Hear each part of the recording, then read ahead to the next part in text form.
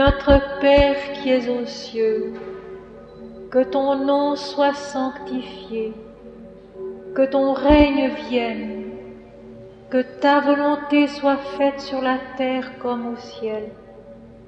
Donne-nous aujourd'hui notre pain quotidien. Pardonne-nous nos fautes comme nous les pardonnons à ceux qui nous ont offensés. Ne nous laisse pas tomber dans la tentation, mais délivre-nous du mal, car c'est à toi qu'appartiennent le règne, la puissance et la gloire au siècle des siècles. Amen.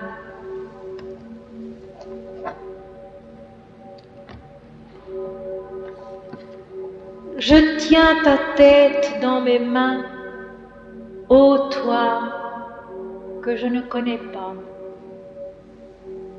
Je tiens ton âme dans mon cœur, ô toi que je ne connais pas. Le ciel est sans visage et la terre est sans voix. Mon âme qui te voit, ô Seigneur, en silence, devient le long regard où tout est réuni. Retiens ton souffle, enfant que la vie indispose. Repose-toi. Mes bras sont ouverts dans le jour. Écoute. Dans la voix qui chante avec les âges, il est un tintement émerveillé, si doux. Je tiens ta tête dans mes mains, ô toi que je ne connais pas. Je tiens ton âme dans mon cœur, ô toi que je ne connais pas. Seigneur, un vent calme a soufflé dans les ailes de mon navire. Il était toi. Il était toi ce chant si beau qui de l'eau bleue faisait un tintement de cristal infini. Il était toi ce sourire des fleurs d'azur épanouies comme des ailes parmi les vagues de leur vol. Seigneur, mes yeux ont percé l'horizon, plus loin, plus loin que l'eau, et plus loin que la vie. Mon navire, en courant sur l'eau dans la lumière, a conquis un levant d'où l'on ne revient. Le vent qui s'est levé n'est pas une tempête, il est un aviron qui me conduit à toi. Seigneur, dans ce pays d'or et de pourpre, où la verdure est sainte et le climat léger, il n'est qu'un seul visage, et c'est le tien. Ta voix est là, qui ne parle pas, mais qui est cette résonance en laquelle tout être respire. Ta vie est là, vraie comme l'oiseau qui de l'air tire son élan, aspire son vol et demeure en toi. Mon âme est là, et elle est toi, dans le baiser triomphal de la confiance parfaite. Lumière qui est toi, ô Seigneur, vie qui est la lumière, amour où tout s'est retrouvé en toi, qui seul est.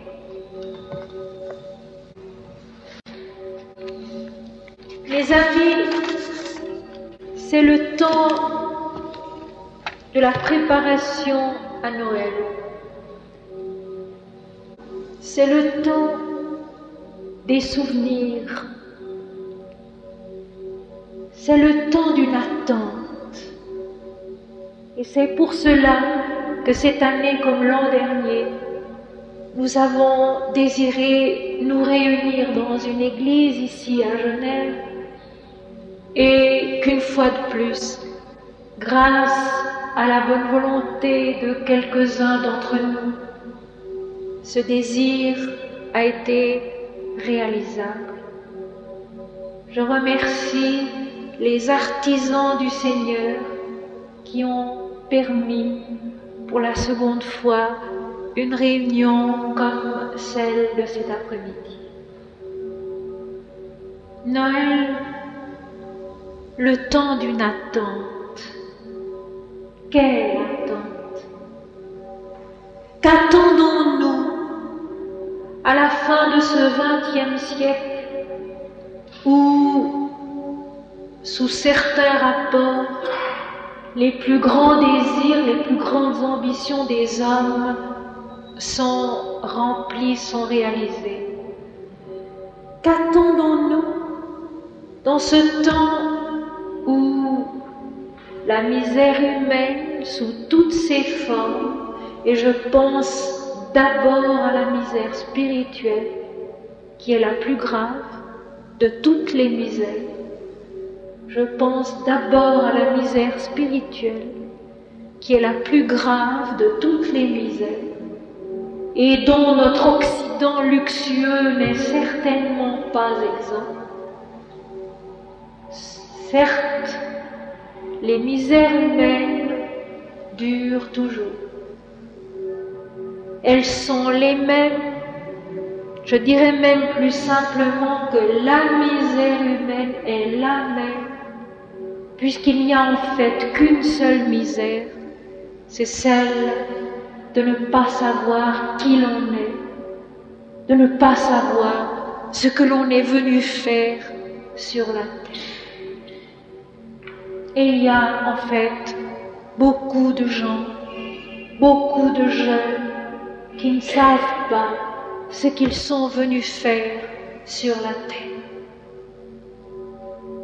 Pour être Puni de quoi demandent certains. Pour être promis à quoi demandent d'autres. Pour être puni de quoi demandent certains. Pour être promis à quoi demandent d'autres. Et la réponse, bien sûr, elle est dans Noël. Elle est dans Noël la réponse. Dieu fait homme ou exprimé autrement, d'une façon qui peut-être nous parle davantage. La révélation de Dieu en l'homme. Noël, c'est la révélation de Dieu en l'homme. Jésus a dit je suis le chemin. Eh bien, il est ce chemin du commencement à la fin, du commencement à la fin de toute la vie, puisqu'il est le premier-né de toute la création, celui en qui, par qui, pour qui toutes choses ont été créées et subsistent. Jésus est le commencement de cette révélation de Dieu en l'homme. Révélation qui, de la part de l'homme, est aussi un travail.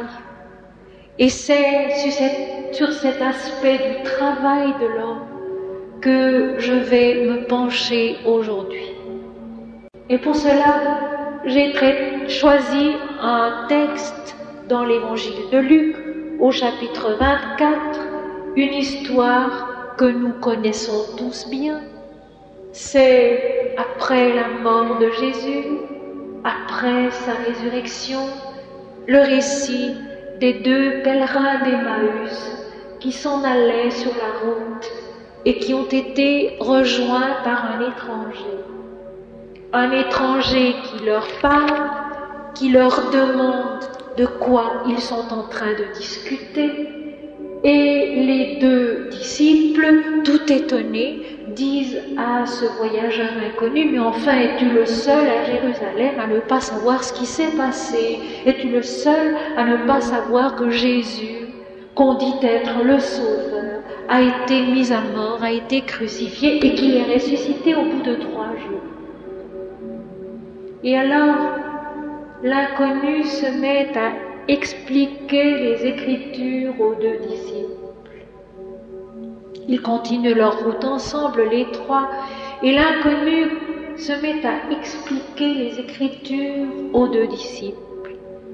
Il leur dit, mes enfants, le Christ qui est venu devait souffrir, devait s'en aller, devait ressusciter, afin que les Écritures s'accomplissent, afin que la loi profonde de la vie soit démontrée, afin que la loi profonde de la vie soit démontrée pour que les hommes, à leur tour, puissent se mettre en route et suivre le chemin que Jésus a ouvert en eux en leur donnant la vie ici-bas dès le commencement et à jamais. Et vous connaissez la suite du récit.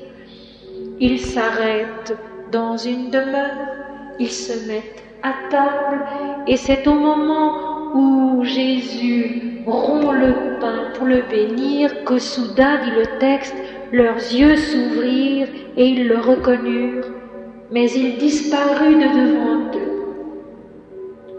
Un peu plus loin, les disciples étant tous réunis à Jérusalem, Jésus entre dans la chambre où il se trouve et il leur dit, la paix soit avec vous.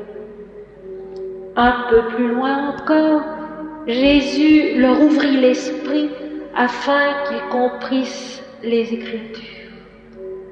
Nous avons dans ce récit assez long que je vous ai résumé pour ne pas le lire tout entier, les quatre éléments indispensables à ce chemin intérieur que nous sommes appelés à suivre pour suivre Jésus et pour réaliser au-dedans de nous-mêmes l'œuvre de la création qui n'est pas autre chose que la révélation de Dieu en l'homme.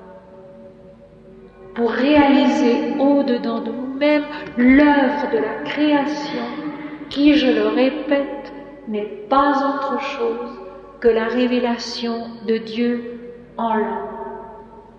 Quatre éléments. La parole du Seigneur, les yeux qui s'ouvrent et les disciples qui voient, qui reconnaissent Jésus. La paix soit avec vous, la salutation du Christ. Et le quatrième élément, il leur ouvrit l'esprit afin qu'ils comprissent les Écritures. Les quatre éléments de la discipline intérieure qui nous permettent non pas de découvrir Dieu en quelques jours ou en quelques heures d'exaltation, oh non mes amis, mais de nous mettre en chemin et tranquillement, lentement, paisiblement, avec confiance, essayer d'ouvrir les yeux pour reconnaître le Maître, de recevoir intérieurement sa paix indispensable à notre réalisation intérieure, de recevoir aussi de lui cette ouverture de l'esprit qui permet de comprendre les saintes écritures. Et j'insiste sur le fait qu'il s'agit là d'un travail millénaire que personne n'accomplit rapidement et dans lequel il ne faut pas être impatient, dans lequel il faut au contraire avoir une immense patience, une profonde persévérance et une très grande humilité pour ne pas s'imaginer trop vite avoir reçu des grâces exceptionnelles. Tout se passe selon la loi de la création, cette articulation merveilleusement parfaite de l'univers et de l'homme, qui fait que lentement, tous les éléments de la créature, tous les éléments du cosmos s'enfantent peu à peu à l'illumination intérieure de la joie, qui est la compréhension des Écritures et la sainteté de l'Esprit lumineux au-dedans de nous. Nous allons maintenant reprendre pas à pas ces quatre éléments de notre démarche. Je voudrais ici ouvrir une petite parenthèse sur un des livres de la Bible dont on ne comprend généralement pas bien la signification. C'est l'Apocalypse. Si certains d'entre vous s'y intéressent, il y a à votre disposition à la sortie quelques exemplaires d'une étude des deux premiers chapitres de l'Apocalypse, une étude spirituelle.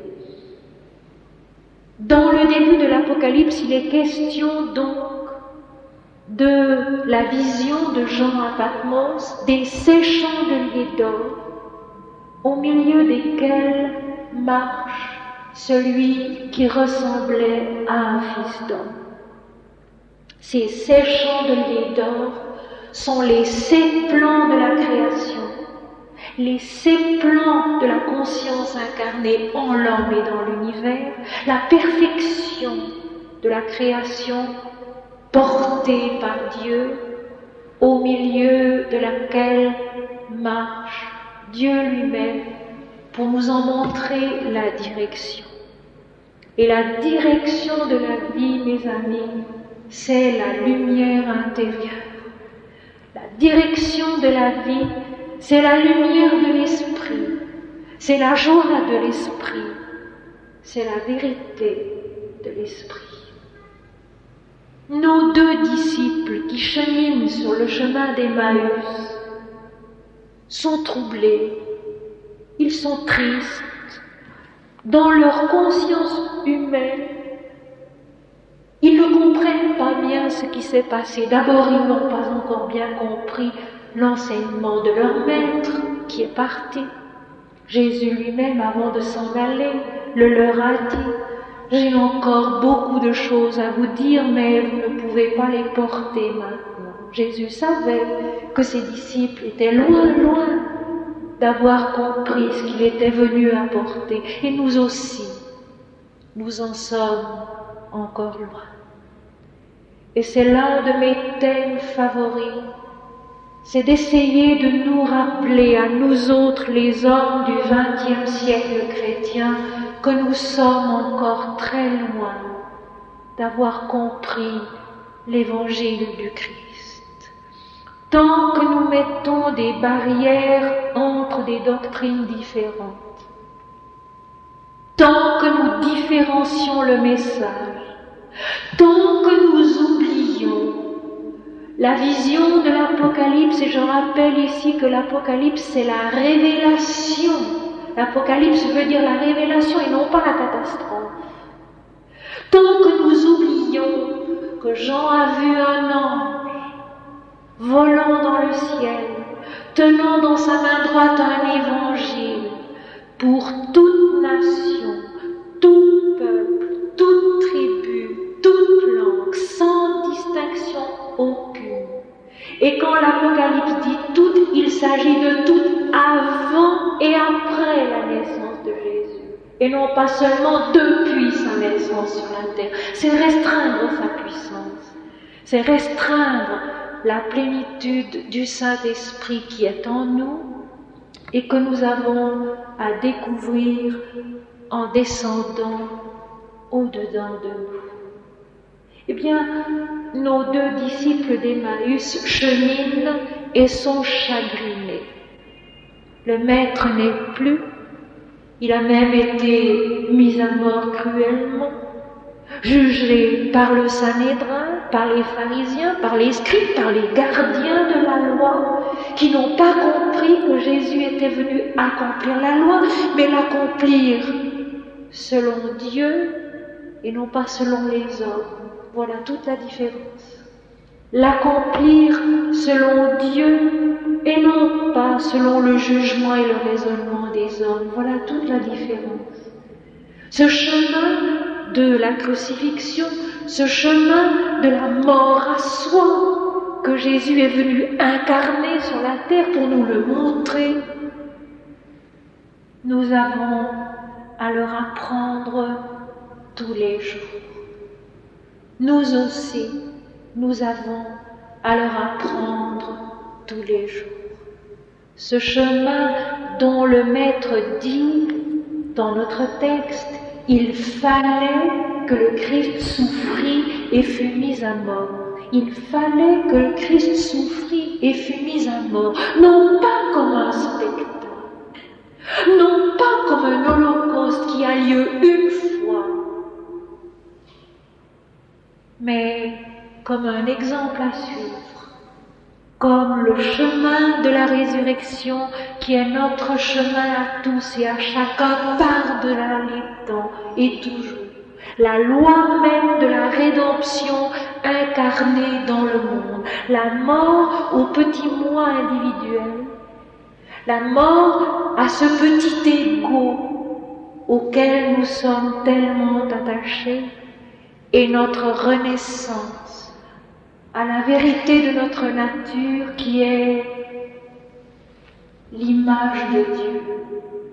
Dieu créa l'homme à son image, il le créa à l'image de Dieu. Et l'homme doit mourir à cette image pour retrouver sa véritable nature, son être, qui est Dieu lui-même. Voilà le sens de l'évangile. Voilà la bonne nouvelle que Jésus est venu apporter, non pas seulement pour la prêcher, mais pour en être la démonstration ici-bas, pour l'incarner, pour la montrer comme un pas à pas que chaque homme doit faire, que chaque homme peut faire. Mourir à soi. C'est alors que les yeux s'ouvrent et que l'on peut reconnaître Dieu au fond de soi. Et c'est ce que toute l'humanité cherche, mes amis. L'humanité ne cherche rien d'autre, même quand elle ne le sait pas. Elle n'a la paix, l'humanité, elle n'a la paix que quand elle sait qui elle est que quand elle sait pourquoi elle est née, de qui elle est née, à qui elle va, exactement comme un enfant, un orphelin qui n'a ni père ni mère, va dans la vie cherchant son père et sa mère, cherchant son authenticité. L'authenticité de l'homme, c'est Dieu. L'authenticité de l'homme, c'est Dieu.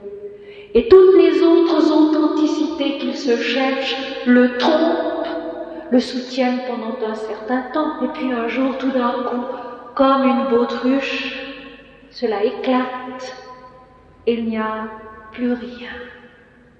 Les idéologies les plus belles, les sociologies les plus généreuses, les élans, les constructions les plus grandioses des hommes passent et meurent, ce sont des formes.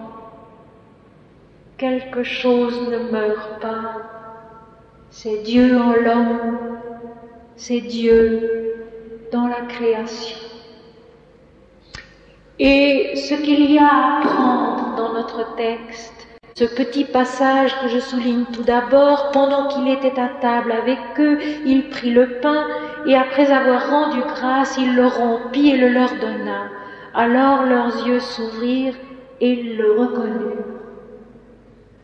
C'est quelque chose en nous qui saisit Dieu dans l'événement commun de la vie. Un travail à apprendre, un chemin à suivre aller en se demandant où est Dieu, qui est Dieu, quelle est sa nature. Et alors, dans son visage souvent le plus inattendu, le plus commun, Dieu se révèle. Nos yeux s'ouvrent et nous reconnaissons le Seigneur en quelqu'un en quelque chose qui tout d'abord n'avait pour nous rien de particulier. Et ceci, il est important de s'en souvenir. Actuellement, et c'est une aide, dans un certain sens, c'est une aide Actuellement, on nous parle beaucoup d'états exceptionnels, d'états d'extase, d'états exceptionnels qui certainement sont réels, sont vrais, ont leur valeur, ont leur importance. Mais ces états, justement parce qu'ils sont exceptionnels, ne sont pas le lot de chacun. Et il ne faut surtout jamais les rechercher. En vous disant cela, je ne fais que répéter Sainte Thérèse d'Avila, Saint Jean de la Croix, Saint François d'Assise, tous les saints d'Occident et les sages d'Orient. Ces états exceptionnels, ces états de lumière intérieure qu'on reçoit de la part de Dieu quand on est mûr pour les recevoir. Il ne faut en aucun cas les rechercher, il ne faut en aucun cas les désirer, et il ne faut surtout pas se dépêcher de s'imaginer qu'on en possède quand par hasard il nous est arrivé d'avoir un moment d'émotion particulière dans le domaine de l'esprit, dans le domaine religieux. Il faut adopter vis-à-vis de ces choses-là une attitude excessivement prudente, excessivement réservée, excessivement sage. Quand il est l'heure, l'illumination toute simple, toute vraie, est donnée à l'homme par Dieu et Dieu seul quand il est assez fort pour la supporter, quand il est mûr pour en supporter ici-bas les conséquences qui sont colossales. Mais ce qui est promis à chacun et à chaque pas, c'est l'émerveillement de l'enfant si notre cœur est assez pur pour en être capable. Dans une de ses béatitudes, Jésus a dit, Heureux ceux qui ont le cœur pur, car ils verront Dieu. Ils le verront tout simplement dans la vie qu'ils mènent tous les jours, sur le chemin qu'ils parcourent à chaque instant. Avoir le cœur tout plein d'une grande tendresse, mais d'une tendresse calme. Je vous donne ma paix. La paix soit avec vous. Cette paix réelle qui ne vient pas des hommes mais de Dieu, cette indifférence à soi-même. C'est ainsi aussi qu'on pourrait appeler cette paix que donne le Seigneur, cette indifférence à soi-même, cette indifférence à soi-même qu'a le tout petit enfant. Le tout petit enfant ne s'inquiète pas de soi, il s'émerveille de ce qu'il vient à lui, de tout ce qui vient à lui. Il s'émerveille de tout ce qui vient à lui. Il ne s'inquiète pas de soi. Il ne se demande pas si ça va lui être agréable ou désagréable, si ça va lui faire du bien ou du mal, il n'en sait rien. Le tout petit enfant va vers ce que la vie lui offre et il va vers cela avec émerveillement. Jésus l'a dit quelque part aussi, si vous n'entrez pas dans le royaume de Dieu comme de petits enfants, vous n'y entrerez pas. Il faut y entrer avec cet émerveillement intérieur qui fait que l'on s'oublie soi-même et qu'on se perd dans ce qu'on contemple. Eh bien, chaque jour, à chaque pas, on peut se perdre dans cet émerveillement intérieur qui est la révélation de Dieu en l'homme. Alors leurs yeux s'ouvrirent et ils le reconnurent. Alors nos yeux s'ouvrent et nous le reconnaissons dans un simple fait, dans un simple geste, dans un simple éclairage, dans un paysage, dans un moment de notre vie qui autrement n'aurait rien eu de bien particulier. Pour cela, il faut être, comme l'étaient les disciples sur le chemin d'Emmaüs, préoccupés du Seigneur. Préoccupés du Seigneur. Ils étaient préoccupés du Seigneur. Il s'en allait devisant au sujet de sa mort, au sujet de sa résurrection, de toutes ces choses qu'il ne comprenait pas très bien.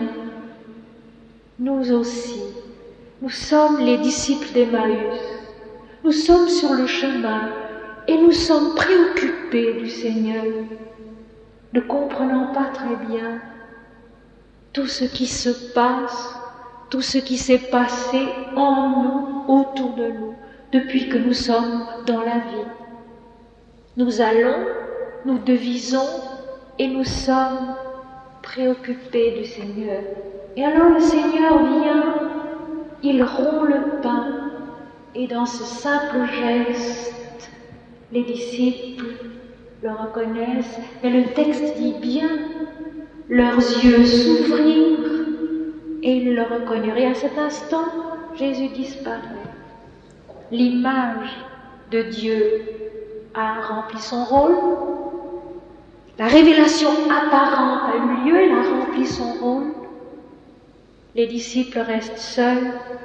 Il s'agit maintenant qu'ils avancent avec cette ouverture de leurs yeux qui a eu lieu un petit moment. Leurs yeux s'ouvrirent et ils le reconnurent. À nous aussi, les yeux peuvent s'ouvrir un jour d'une façon intérieure et secrète et toute simple.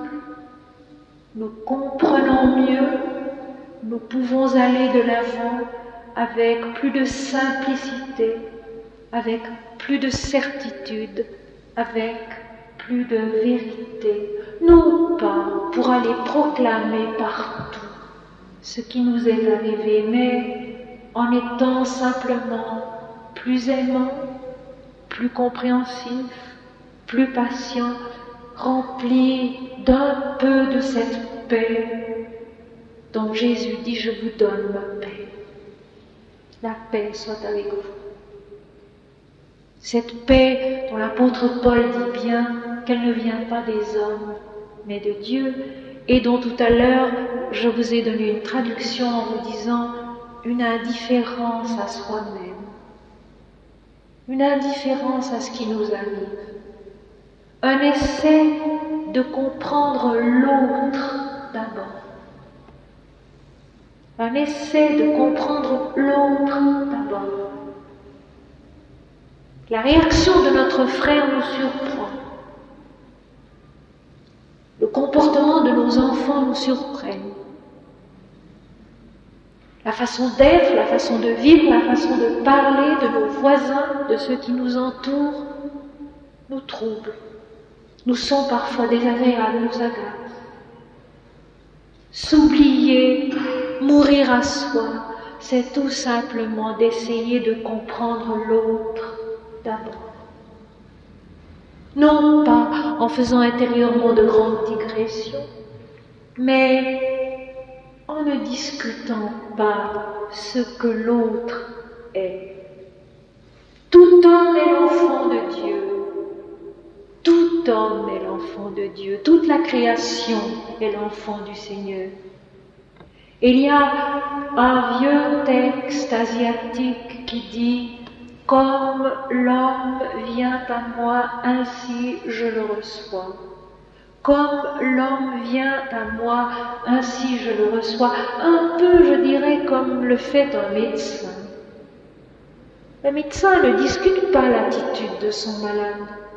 Il accueille son malade, il le soigne, il l'écoute, mais il le reçoit comme il est. Eh bien, c'est déjà tout un travail.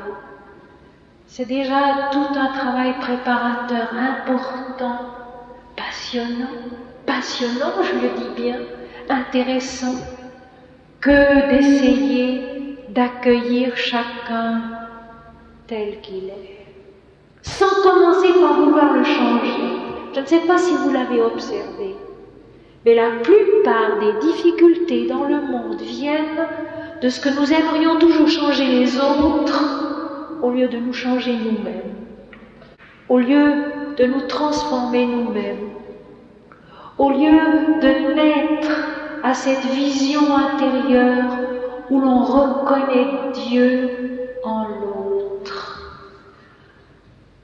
Un grand sage de l'Inde, Sri Ramakrishna, qui a vécu le siècle dernier, a eu cette parole que j'estime la plus belle de toutes.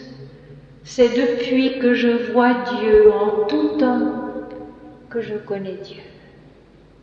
C'est depuis que je vois Dieu en tout homme que je connais Dieu. Cet homme-là, qui avait connu tant d'extases exceptionnelles, on dit même qu'il est resté six mois en extase et il en est revenu miraculeusement pour instruire les hommes. Eh bien cet homme-là, qui savait donc ce que c'était que de se perdre en Dieu, qui savait donc ce que c'était que de se perdre dans la lumière, de s'accomplir dans la lumière, il a eu ce mot merveilleux, c'est depuis que je vois Dieu en tout homme que je connais Dieu. Bien, c'est notre but à tous, c'est le but de l'humanité. Se connaître soi-même, c'est connaître Dieu. Connaître Dieu, c'est se connaître soi-même. Et cela sans distinction de croyance, sans distinction de credo, sachant que certes, les églises sont d'admirables maisons du Seigneur, mais que l'univers entier est le temple du Seigneur, et que l'homme en soi est aussi le temple du Seigneur. Celui qui le contient, celui qui est appelé à le connaître et à l'aimer. Et au moment même où les yeux des disciples s'ouvrent, le Maître disparaît. Il a éveillé la justesse du regard, il a donné la certitude de la reconnaissance intérieure et puis il disparaît. Et les disciples ne restent pas là à se souvenir de ce qui s'est passé. Ils partent aussitôt courir apporter la nouvelle à leurs frères à Jérusalem. Et c'est alors là, pendant qu'ils sont ensemble, que Jésus de nouveau arrive et leur dit, la paix soit avec vous.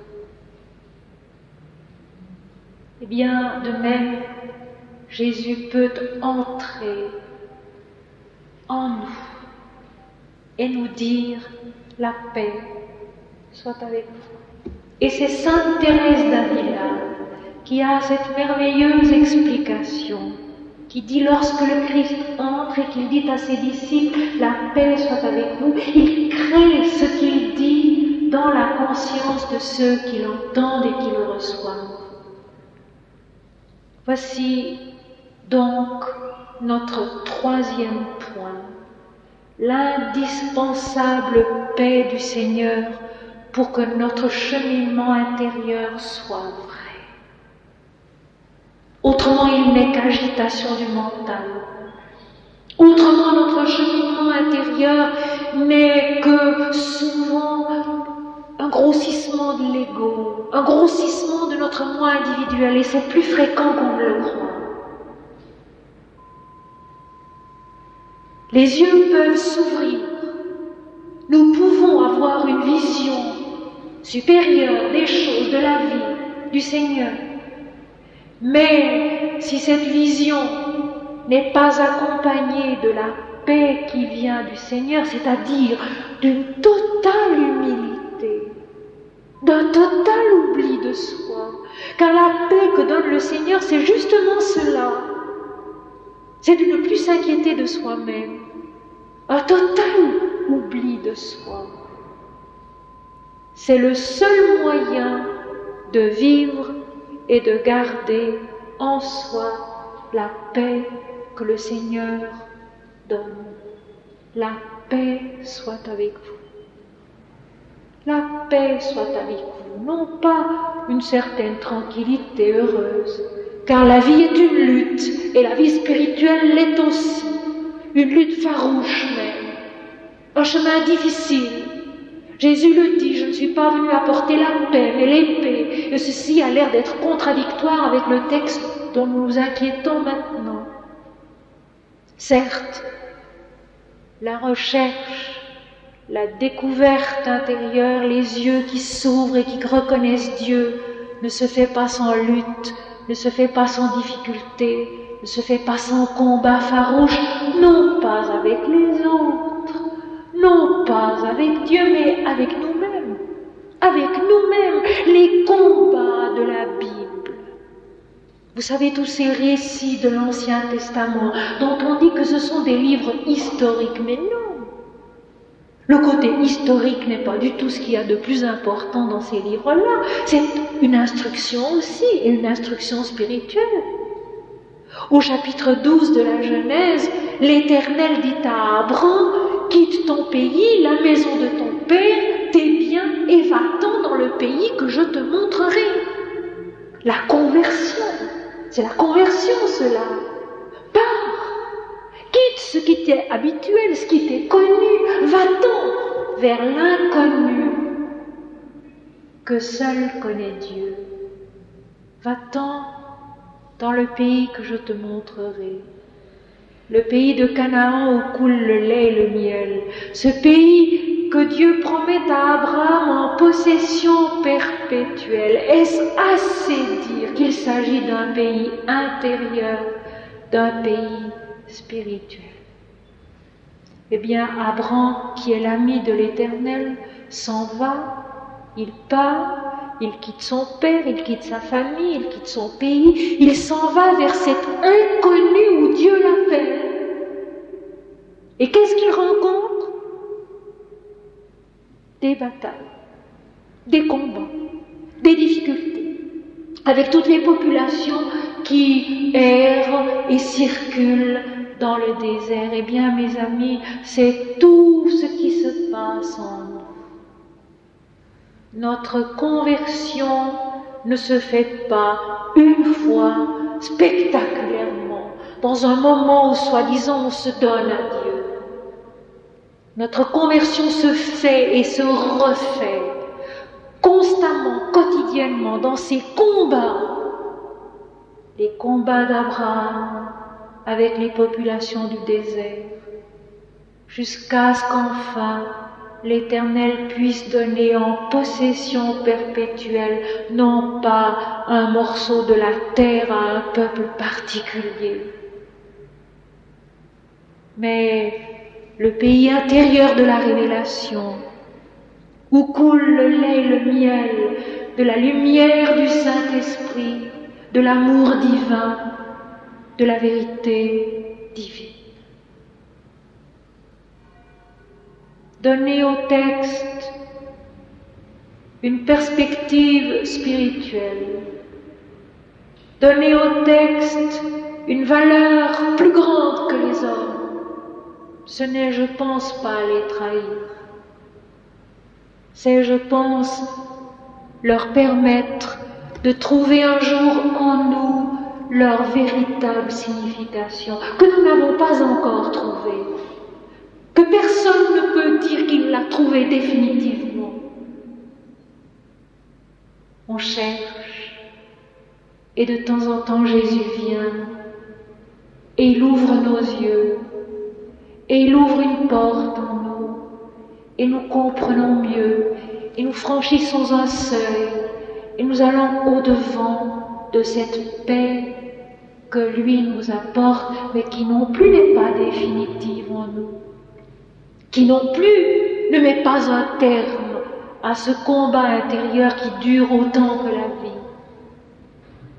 Pour soutenir mon propos d'une autre façon d'exprimer la même chose, je vous citerai encore l'Inde avec sa sagesse, qui dit que même les dieux méditent jour et nuit et rivalisent d'austérité. Quel enseignement dans cette phrase.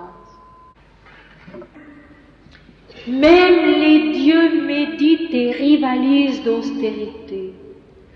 Tant qu'il y a incarnation, même divine, tant qu'il y a manifestation de l'absolu du Père, éternellement lumineux et parfait, il y a travail, il y a donc combat, il y a rivalité dans l'effort, dans l'austérité qui essaye de nous conduire toujours un peu plus loin sur le chemin où les yeux s'ouvrent, sur le chemin où la paix divine descend en nous, sur le chemin où notre esprit aussi s'ouvre à son tour et nous sommes capables non seulement de comprendre les saintes écritures, mais de les incarner et puis finalement de les dépasser, c'est-à-dire de mourir à tout cela qui est la forme apparente,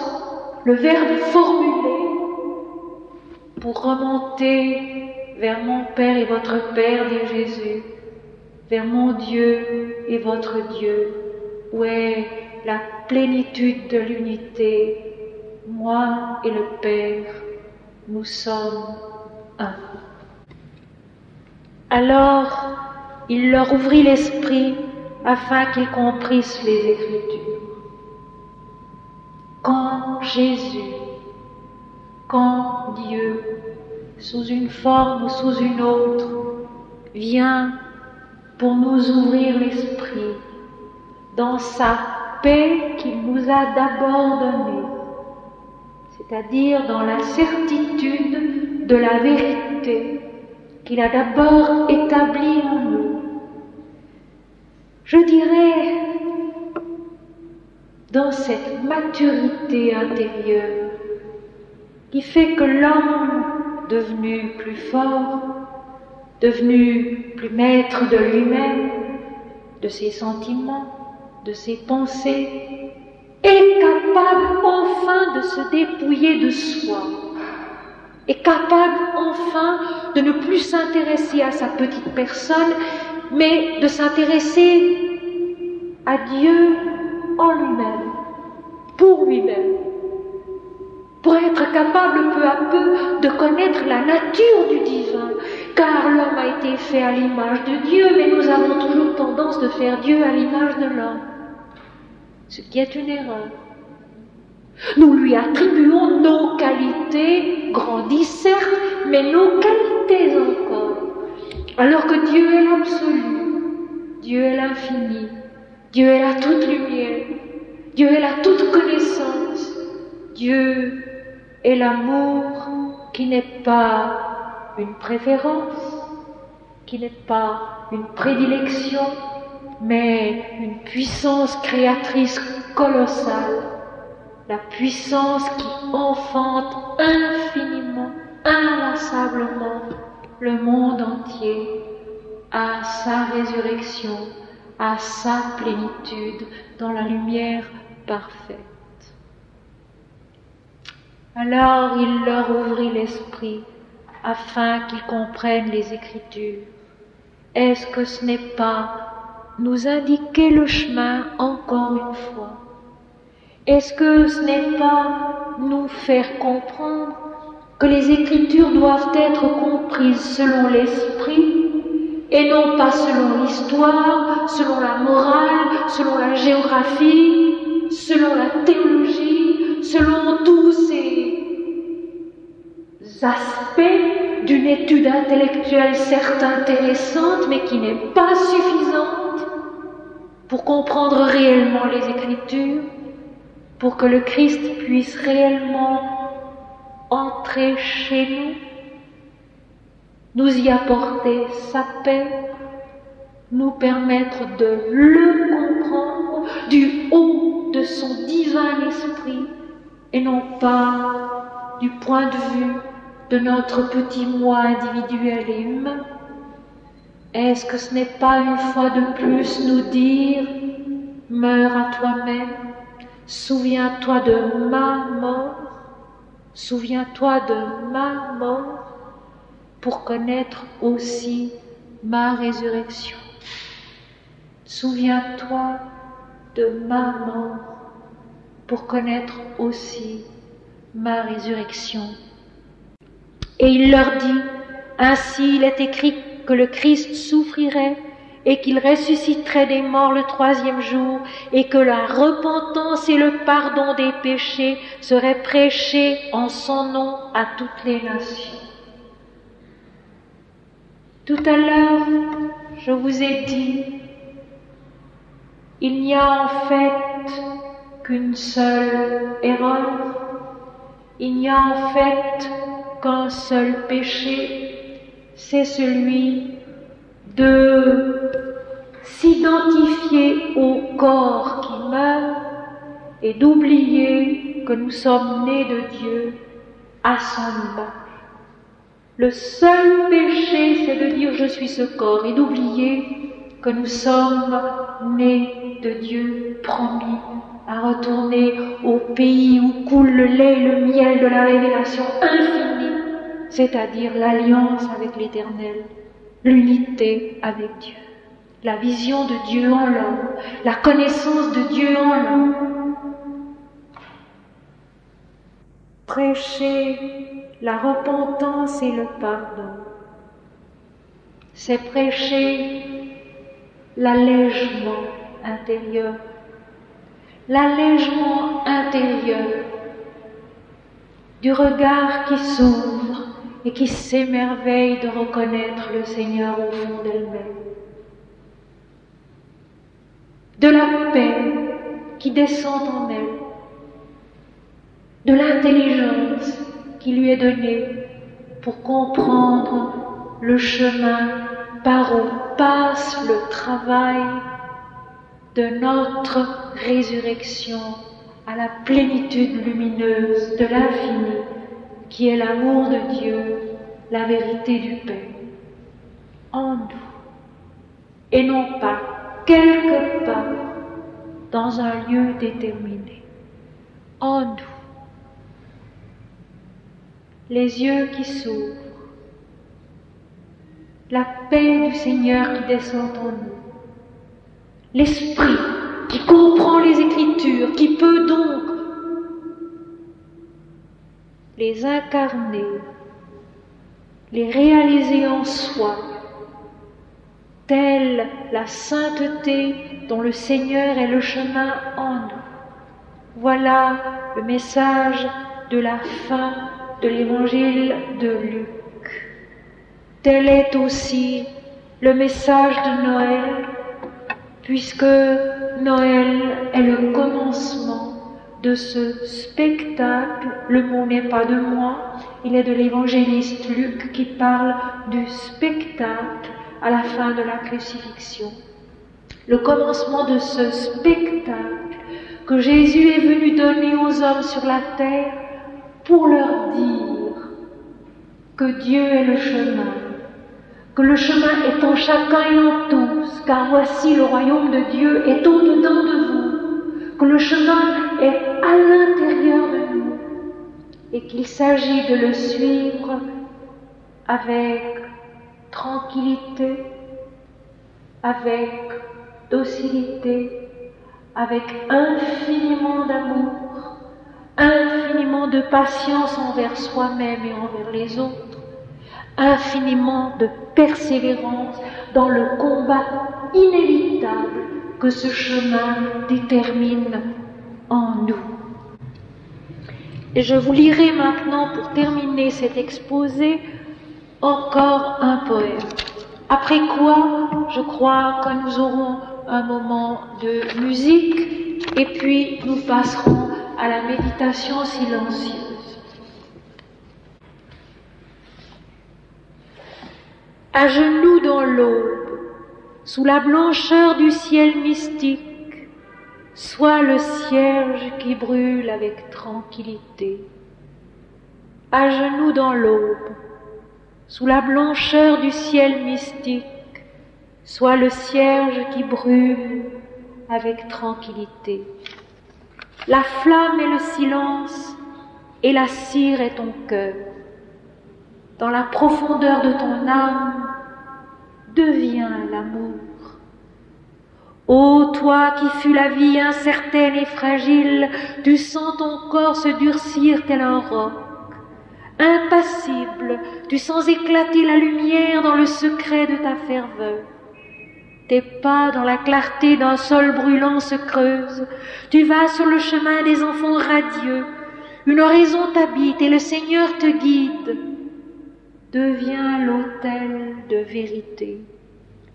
Tu te tairas désormais sur la place, parmi les hommes agités tu te tairas, élevant vers le ciel ton visage d'aurore, tu sentiras le souffle heureux des anges sur ton front. Tu toucheras le jour de tes mains pures. Tu boiras l'eau d'une source d'azur. Ton corps léger frôlant la mort croira saisir le manteau d'un ami. Ignorant les combats où la détresse crie, tu souriras la nuit aux épines des bois. Tu béniras la soif qui dessèche ta gorge. Tu donneras ton pain aux chiens qui pleurent. Tu marcheras longtemps sans lassitude. Le temple qui t'attend est encore loin, mais la distance est courte. Tu rêves sur la route au merveilleux éveil de ton âme. Tu n'attends pas le jour, tu ne crains pas la nuit, tu vis, silencieux sur la terre d'amour. Plus rien ne peut changer pour toi, tu es cela qui tout contient sereinement et dans ton voyage immobile, tu possèdes l'immensité.